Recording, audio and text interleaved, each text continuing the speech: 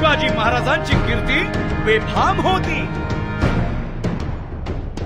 महाराजांची कीर्ती बेफाम भाल्या भाल्यानं फुटला घाम याला कोण घालील यस्सेने दरबारी पुस्ती बेगम. बडी बेगम म्हणजे अली आदिल शहाची आई बर का नजरेत तिच्या अंगार दरबार झाला गपगार हाकार साऱ्यांनीच मानली हारे. इतक्यात अचानक एक सरदार उठला. बोलला मैं लाऊंगा शिवाजी को आणि त्यानं विडा उचलला. नवतेच अफजल खाने. या नवतेच अफजल खाने जिता जागता जणू सहिताने. कान बोलला छाती ठोकून शिवबाला टाकतो चिरडून. मरहबा सुभानअल्लाह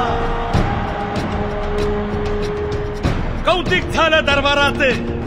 खान निघाला मोठ्या गुरमीत. त्याच गोड तळ पायतळ फौजा फाटालाही बक्कळ. अंगी दहा हातीच पळ पाहणारा काव्य चळचळ वाटेत भेटेल त्याला चिरडीत. खेचीत खानाची सेना निघाली.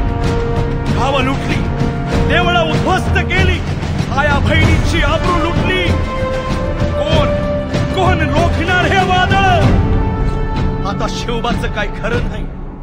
इकडं निजाम तिकडं मोगल पलीकडं इंग्रज. जो तो हेच बोलू लागला राजाची सेना मुठभर खानाला कसा ठोपणार काय लढवावा हुन्नर चिंतेत पंत सरदार. पण आई जिजाऊ पण आई जिजाऊ काय म्हणाल्या? शिवबा केवळ आमचा पुत्र नाही तर अवघ्या मराठी जनांचा स्वाभिमान आहे. या मातेने आपला पुत्र गमावला तरी बेहत्तर परंतु भ्याडपणे पळून जाऊन या मराठी मुलखाचा स्वाभिमान गमावता कामा नये. अशा वाघिणीचा त्यो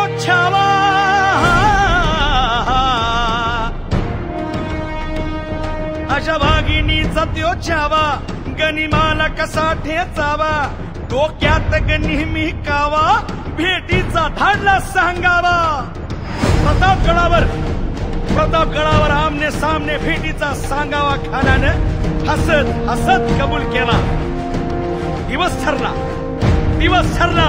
आणि ठरल्याप्रमाणे प्रतापगडच्या पायथ्याशी खान.